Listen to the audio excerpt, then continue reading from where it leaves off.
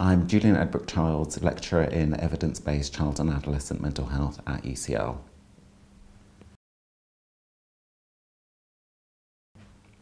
Child mental health professionals in England consistently report that more and more young people with increasing levels of mental health difficulties are accessing child's mental health services.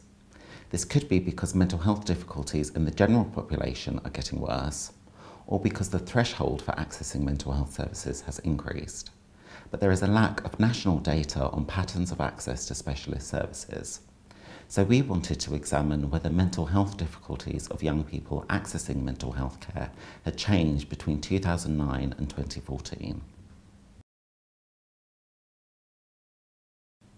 We matched young people who access services in 2009 and 2014 on things like age, gender and types of difficulties to produce broadly similar groups. We then assessed the levels of mental health difficulties they had reported on standardised questionnaires.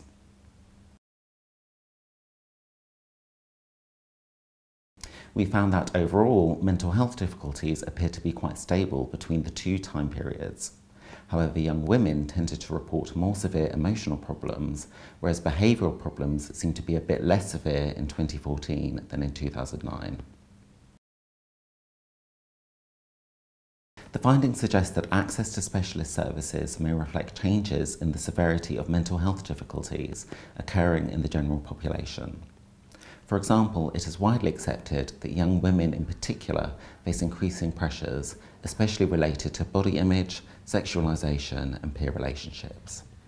Bearing in mind the increasing pressures we know young people face, we would suggest that further work to provide interventions to help prevent and treat mental health difficulties in young people is needed.